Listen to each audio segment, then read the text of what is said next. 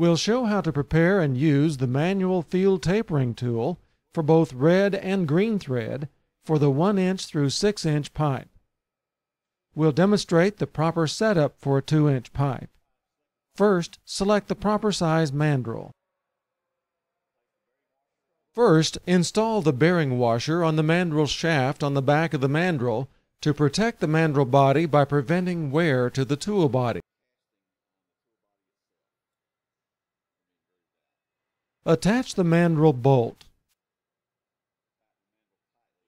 Tighten the bolt tightly into the tool bottom.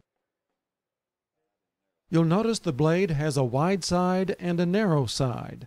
Place the blade in the tool blade holder with the wide side facing the blade holder. Push the blade in as far as possible without the blade contacting the mandrel itself. Tighten the blade holder by hand, then tighten with the tool. Now we'll set up the mandrel for an inch to an inch and a half green thread pipe. Place the alignment bushing in the block.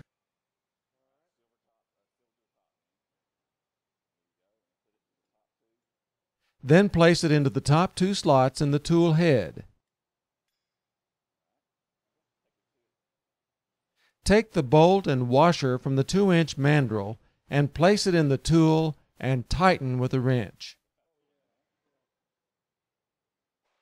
Insert the green thread mandrel and tighten the bolt.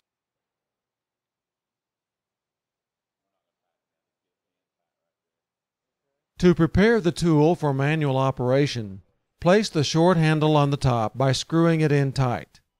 Then place the long handle in the bottom and screw it in tight.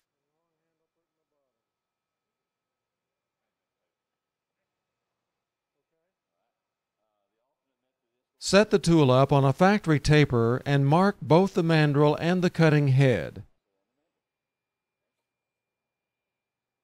Place the pipe in a chain vise.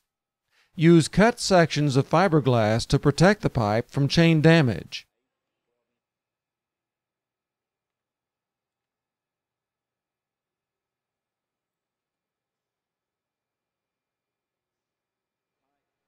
Then taper the pipe.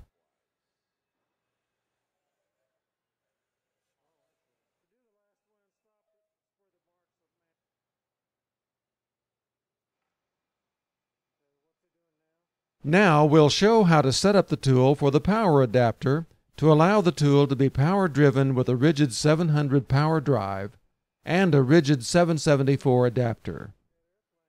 First install the power adapter block available from fiberglass systems. When the cutting tool has been inserted into the pipe, attach the power drive to the tool and cut the taper. Check the insertion by comparing the insertion made in the field with a factory insertion.